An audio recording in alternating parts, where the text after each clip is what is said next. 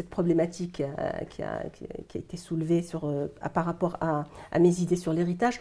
moi, j'étais la première à être étonnée par rapport à ça parce que pendant des années, je n'ai fait que dire la même chose. C'est-à-dire, dans tous mes livres, la question de l'héritage n'est pas centrale, déjà, premièrement, dans mes livres, mais c'est une question qui reste importante, mais qui ne peut se faire que si on a fait la réforme de la pensée islamique. On ne peut pas aujourd'hui dire qu'on va régler, en réglant euh, l'héritage, on va régler toute la question de, la pensée islamique ou l'égalité homme-femme. C'est hors de question.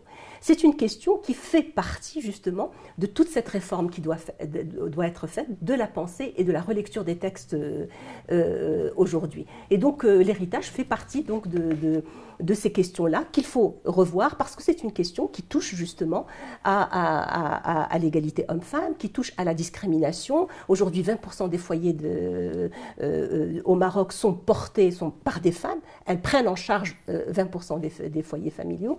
Et donc, euh, comme la finalité du Coran reste la justice et l'égalité, il faudrait revenir à ces finalités. Et vous dites que pour comprendre la règle disant que le frère hérite du double de sa sœur, il faut replacer cela dans son contexte. En fait, quel est ce contexte et qu'est-ce qui, euh, a changé pour que cette règle ne soit plus euh, bien fondée à vos yeux?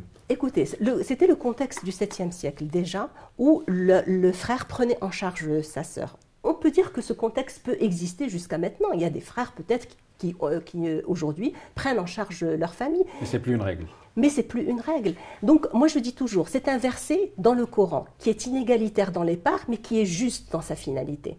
Il est inégalitaire, mais il est juste.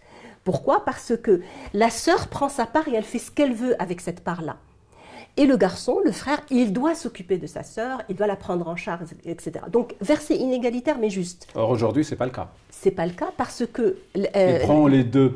Voilà, le frère généralement c'est sont rares parce que lui-même, lui-même, il a des problèmes. Il doit prendre en charge sa famille, il peut pas prendre en charge sa sœur, donc il doit, il doit lui rendre sa part. Et lui rendre sa part, c'est être dans euh, dans cette justice là que, que veut le Coran.